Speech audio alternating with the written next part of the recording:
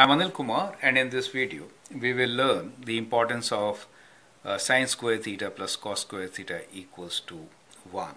Whenever you want to do any trigonometric identity, sine square theta plus cos square theta equals to 1 is the basic Pythagorean trigonometric identity which you should know and you should be an expert on use, using this particular identity. Let us try to prove this in this particular video. So we'll prove it and we'll use two methods, right? One method is using a right triangle. So I'll make one right triangle here. And the other one, I will prefer to use coordinate system.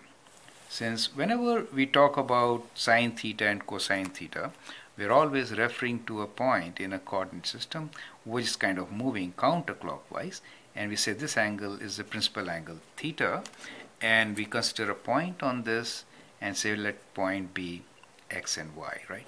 So using these two basic concepts will actually prove the Pythagorean identity. So we have taken up a right triangle here. Let us say the sides are a b and c right? So this is right triangle and the angle here let it be theta right? So in that case from Pythagorean theorem we know that a square plus b square is equals to c square right if I divide by c square, then what happens? See, a square plus b square equals to c square. I'm dividing each term by c square, right? So I'm dividing that by c square. So what we get here is a over c whole square plus b over c whole square equals to 1. Now what is a over c? a over c is cosine of theta. So that is cos theta, right? So cos theta square we normally write like this, correct? Plus b over c is sine theta. So we get sine, we should write sine square theta equals to 1. Do you see?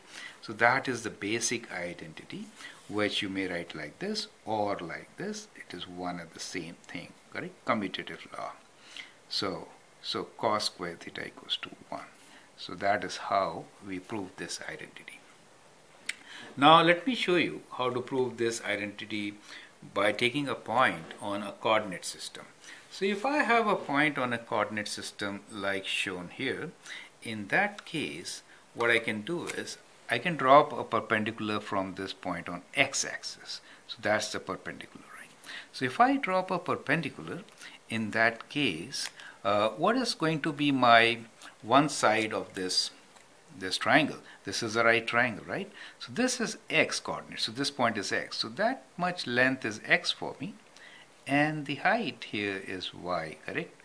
And we can say this is r, the radius, which is equals to square root of x square plus y square. Is it okay? So that becomes the hypotenuse for the given right triangle.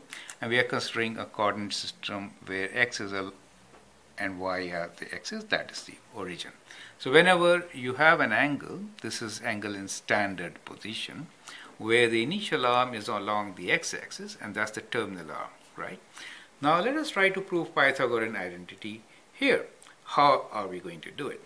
Okay so let's begin by the same concept and say well this time what we will do is we will say uh, what is uh, sine theta here so let me write down what is sine theta in this. Sine theta is y over r, correct? Sine theta is y over r. And how about cosine theta?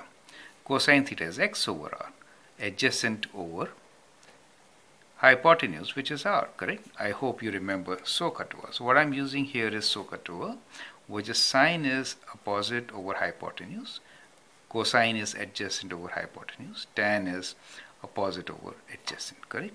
So, so we have sine theta as y over r, cos theta as x over r. So let me begin from the left side and that is how we do identities.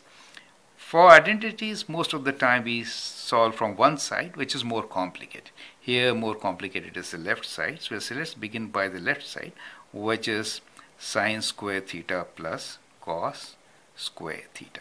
So sine theta is y over r, so square will be y over r whole square, right?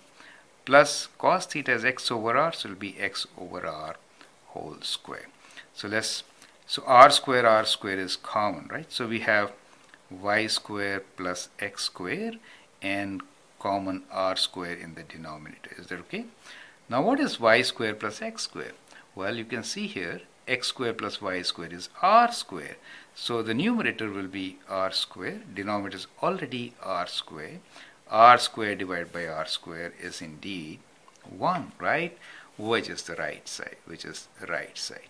So that is how we have to prove identity. Start from one side and prove it to be equal to the other side which is right side and we say well when left side is equals to right side we have proved the identity right we have proved the identity so that is the process which we are going to follow in the following example. So you've seen how we started with sine square theta plus cos square theta.